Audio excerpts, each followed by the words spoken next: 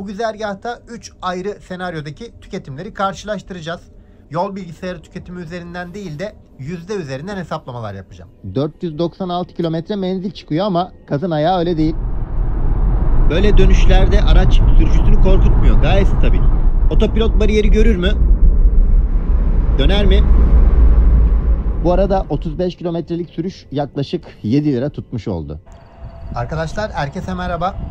Saat gece yarısı 1.30 ve otoban kenarında gerçek kullanım menzilleri içeriği için şarjdayım. Bir full 3 günlüğüne elektriğin kilowatt saat fiyatını 1 TL yapmış. Bu yüzden otomatikman içeriğin sponsoru olmuş oluyor. Kendisine teşekkür ediyoruz. Normalde ben şehir içi yoğun trafikte tek şarj ile 571 kilometre yaptım. Kanalda videosu var. Uzun yol videosunda da yine Zürih Milano arasında Alpleri tırmanmama rağmen %80 şarjla 400 kilometre civarında yol yapmıştım. Peki bu gece ne yapacağız? Bu gece otobanda 35 kilometrelik bir parkur belirledim. Rotamız şu şekilde Nakkaş Petrol'den çıkıp Kuzey Marmara'dan Çatalca gişelerinden çıkış ve tekrar giriş yapacağız. Bu sefer Anadolu yönüne Yassıören gişelerine kadar süreceğiz. Oradan tekrar çıkış ve giriş yapıp başladığımız yere geri geleceğiz. Bu güzergahta 3 ayrı senaryodaki tüketimleri karşılaştıracağız. Başlangıç ve bitişler aynı yer olduğu için rakım farkı etkisi olmayacak. Yön AB-BA olduğu için yine rüzgar etkisi de minimumda kalmış olacak. 3 senaryoda da şarjım %60'a ayarlı bir şekilde dolum yapıp yol bilgisayarı tüketimi üzerinden değil de yüzde üzerinden hesaplamalar yapacağım. Şarjımız %60'a kadar doldu. Aracı şarjdan alıp yola çıkacağım. Bu arada hava 14 derece, yerler kuru, otoban oldukça sakin. Cruise kontrol açık olmadığı zamanlarda rahat bir sürüş tarzında kullanacağım. Onu baştan belirteyim. Bunu neden söylüyorum? Çünkü elektrikli araçlarda kullanım tarzının tüketime etkisi benzinli araçlardan bile keskin. Çok ufak kullanım tarzı farklılıklarında menzilde artı ya da eksi anlamında çok ciddi farklılıkları çok net bir şekilde görebiliyorsunuz.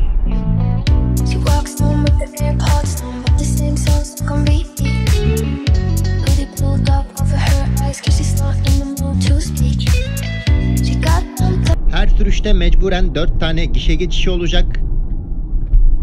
Yavaşlama ve tekrar hızlanmalar sabit sürüşe göre bir miktar daha fazla yaktıracaktır.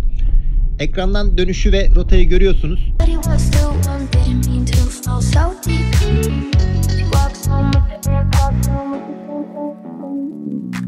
Dönüşlerde bile hızı düşürmeden geçiyorum. Ve başladığımız yere döndük. Birazdan detayları göstereceğim. Yol bilgisayarının 15.7 tüketimine göre hesap yaparsak 496 kilometre menzil çıkıyor ama kazın ayağı öyle değil. Gerçeklere gelelim. %8 şarjla 35 kilometre tamamlamışız. Tüketim grafiğimizi ve detaylarını görüyorsunuz. Sürüş olarak aracın tahmininden %1 daha fazla yakmışım.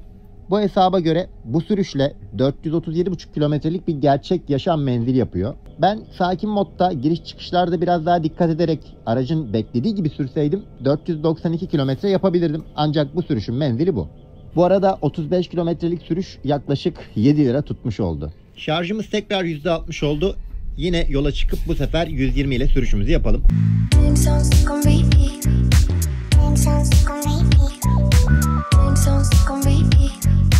Birazdan gişelerden çıkıp tekrar gireceğiz.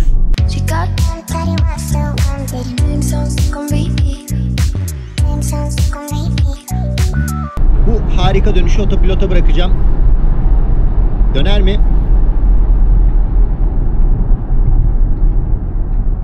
evet yavaşlayıp dönüyor.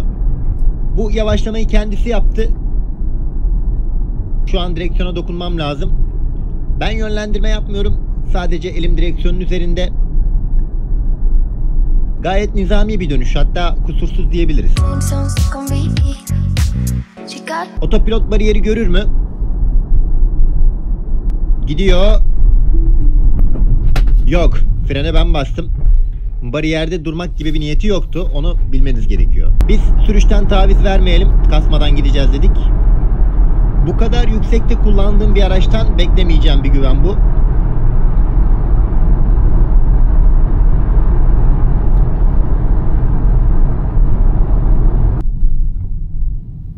Ve başladığımız yerdeyiz. Birazdan hesaplamalara bakacağız. 20.3 tüketimle gelmişiz bu sefer. Ben buna teorik menzil diyorum artık. 78 bölü 20.3'ten normalde 384 kilometre menzil yapar. Ancak yüzdeye bakarsak %10.4 tüketim yapmışız. Yüzde üzerinden bir hesapla 336 kilometrelik bir gerçek yaşam menzili elde ettik diyebiliriz. 120 ile gitmek bize 35 kilometrede planlanandan %3.4 fazla yaktırmış oldu. Tekrar %60'dayız. Şarjı çıkarıp bir de 150 ile sürelim bakalım neler olacak. 150 dedik kasmak yok. Tam gaz olmasa da rahat kullanacağım.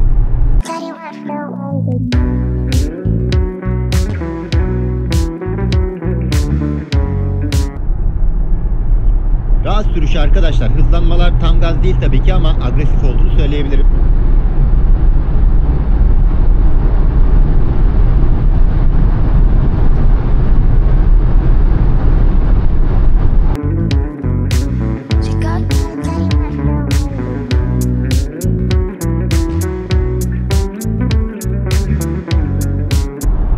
Dönüşlerde de biraz sert yapalım.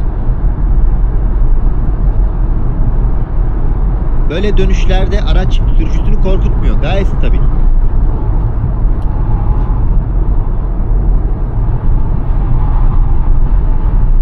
Rahat ya tutuşunu seviyorum Tesla'nın.